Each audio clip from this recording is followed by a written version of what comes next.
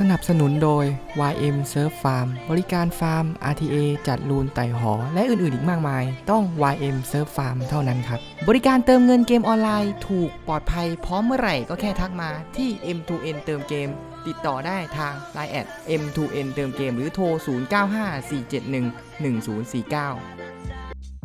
สวัสดีเพื่อนๆทุกคนด้วยนะครับ วันนี้ก็จะทำการรีวิวมอนสเตอร์อีกแล้วนะ ซึ่งมอนสเตอร์ที่ผมเลือกจะมารีวิวในวันนี้เนี่ย ก็ตามคอมเมนต์ของคลิปวิดีโอที่แล้วนะของคุณลูซิเฟอร์ที่บอกว่าอยากได้รีวิวออมืดนะเพื่อนๆนะ ก็จัดไปเลยครับผมในคลิปวิดีโอนี้ ในส่วนแรกนะครับ เราจะมาทำความรู้จักกับสกิลของเจ้าตัวออร์เคิลมืดกันนะ สกิลที่1นะครับ เจ้าตัวออร์เคิลมืดเนี่ยจะทำการโจมตีศัตรูทั้งหมด 3 ครั้งนะ และถ้าหากการโจมตีนั้นเนี่ยติด critical ก็จะฟื้นฟูเกจการโจมตีของเจ้าตัวออร์เคิลมืดเนี่ยเพิ่มขึ้นทีละ 10%นะ พูดง่ายๆว่าถ้าเกิดเราตี critical 3ครั้งเกจการโจมตีของเจ้าตัวออร์เคิลมืดก็จะเพิ่มขึ้นสูงสุด 30%นะเพื่อนๆนะ จะทำให้ตัวออร์เคิลเนี่ยวน turn มาได้ไวมากขึ้นนะเพื่อนๆ ต่อไปจะเป็นสกิลที่ 2 ของออร์เคิลมืดนะเพื่อนๆ โดยสกิลที่ 2 ของออร์เคิลมืดเนี่ย ออร์เคิลมืดจะทำการแปะ debuff แดง 2 อย่างนะ นั่นก็คือ debuff พิษจำนวน 2 turn แล้วก็ debuff ระเบิดจำนวน 2 turn เหมือนกันนะ เมื่อออร์เคิลมืดใช้สกิลนี้ปุ๊บ ออร์เคิลมืดก็จะได้ additional turn หรือว่าได้รับ turn ในการเล่นต่อทันทีเลยนะเพื่อนๆ ในส่วนถัดไปนะครับก็จะเป็นสกิล3ของเจ้าตัวออร์เคิลมืดแล้วนะ ซึ่งสกิลนี้เนี่ยจะว่าเป็นสกิลหากินสกิลไฮไลท์ของออร์เคิลมืดเลยนะ เจ้าตัวออร์เคิลมืดเนี่ยจะทำการโจมตีศัตรูแบบหมู่นะ เพื่อถอนเอฟเฟกเสริมพลังออกก็คือ buff ฟ้าฝั่งตรงข้ามเนี่ยจะถูกลบออก แล้วก็จะถูกแทนที่ด้วย buff stun นั่นก็คือการลบ buff แล้วก็แปะ stun นะ ซึ่งซึ่งถ้าศัตรูตัวไหนเนี่ยไม่มี buff ฟ้าอยู่ก็จะไม่ถูกแปะ buff stun นะเพื่อนอืมพูดง่ายๆว่าเป็นการลบ buff หมู่แล้วก็แปะ stun ถือว่าเก่งเลยแหละ ทำให้ออร์เคิลมืดเป็นมอนสเตอร์ tier SSS ได้เลยนะเพื่อนในส่วนของ Leader Skill ออร์เคิลมืดออร์เคิลมืดเนี่ยจะมอบพลังโจมตีให้กับมอนสเตอร์ในทีม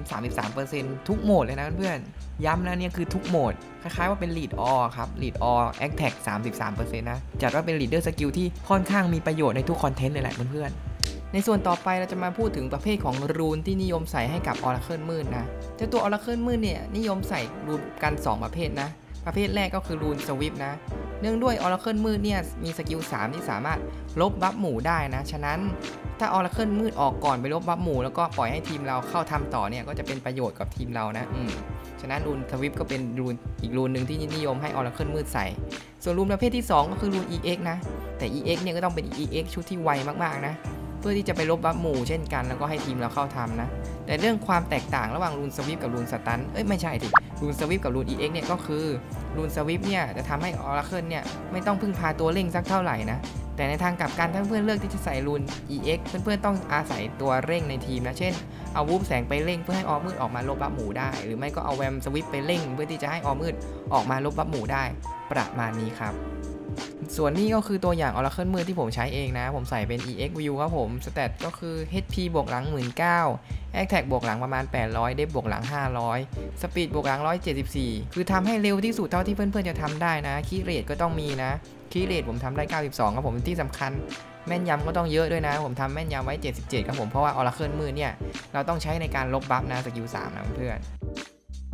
ในส่วนต่อไปเราจะมาเปิดรีเพย์ตัวอย่างของ Oracle มืดในโหมด RTA กันนะ ซึ่งตัวอย่างที่ผมเลือกมาเนี่ยจะเป็นรีเพย์ของคุณเบลนะเพื่อนๆฝั่งตรงข้ามนะครับ เปิดมาเป็นไลลี่นะ ส่วนคุณเบลก็เปิดเป็นเพียววานิลาน้ำแล้วก็ Oracle มืดครับ ฝั่งตรงข้ามหยิบมอนมาเหมือนจะรับนะ คุณเบลก็บุกใส่เลยนะครับ ด้วยพัดแสงแล้วก็เคียวลมตามมาด้วยซอนย่านะซอนย่าถูกแบนลงไปนะครับ ส่วนฝั่งคุณเบลเลือกที่จะแบนลิงไฟไป มาดูในเกมกันเลยครับ เบลดึงเพียวนิลานะ แล้วก็กลางบัฟดาบบัฟสปีดบัฟปีกไปนะ แล้วก็คุณเบลลบบัฟไปที่ริวแล้วก็เก็บริวไปเลยนะครับ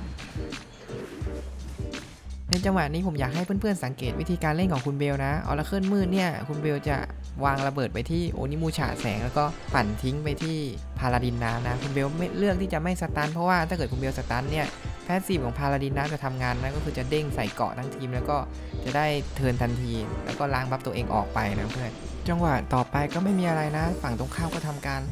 buff ดาบแล้วก็กางปีกปกตินะเพื่อนๆ ต่อไปเป็น turn ของเคียว เคียวคุณเบลเลือกที่จะขโมย buff ดาบจากโอนิมูชาแสงมานะ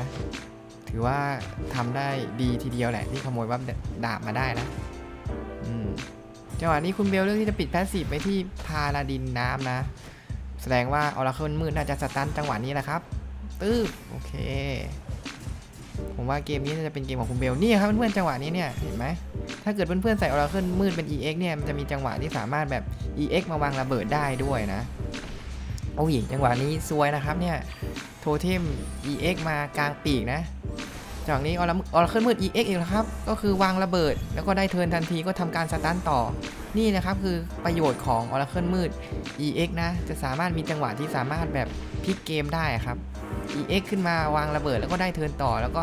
สตันต่ออต่อไปการใช้งานของ Oracle มืดในโหมดซีกวอนะ ผมเนี่ยจะ Oracle มืดไปกับ Oracle ลมแล้วก็ Fairy King ลมนะ เรามาดูรีเพย์ตัวอย่างกันเลยนะครับผม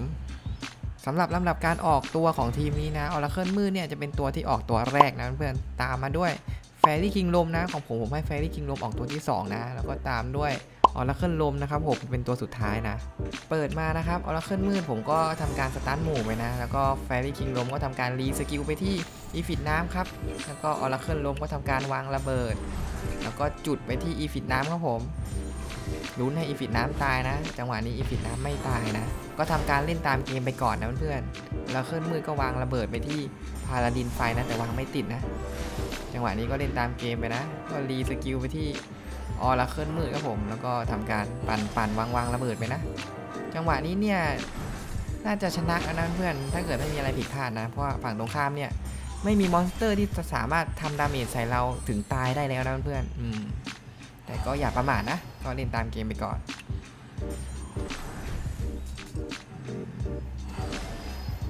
จังหวะนี้ Oracle มืดก็ stun หมู่ไปครับผม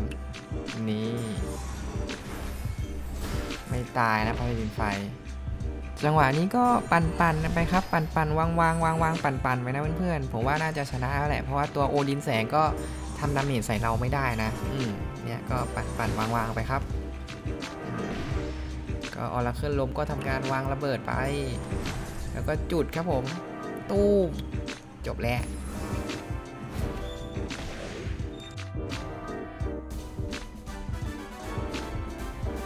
ก็จบลงไปแล้วนะครับสำหรับการรีวิว monster ที่ชื่อว่า Oracle มืด ตามคำขอหรือว่าตาม request ของเพื่อนๆจากคลิปวิดีโอที่แล้ว ส่วนถ้าคลิปวิดีโอหน้าเพื่อนๆอยากให้ผมรีวิว monster ตัวไหนอีกก็อย่าลืมคอมเมนต์ใต้คลิปวิดีโอนี้นะ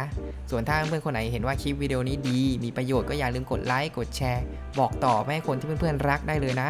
ส่วนถ้าเพื่อนๆคนไหนอยากให้กำลังใจผมหรือว่าอยากเป็นกำลังใจให้คนทำคลิปก็อย่าลืมกด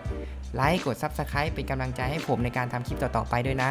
แล้ว monster ตัวหน้าผมจะรีวิวเป็น monster ตัวไหนก็อย่าลืมติดตามชมกันได้เลย แล้วพบกันใหม่ในคลิปวิดีโอหน้าครับผม บ๊ายบาย สวัสดีครับ สวัสดีครับคนสวยนะเธอชื่ออะไร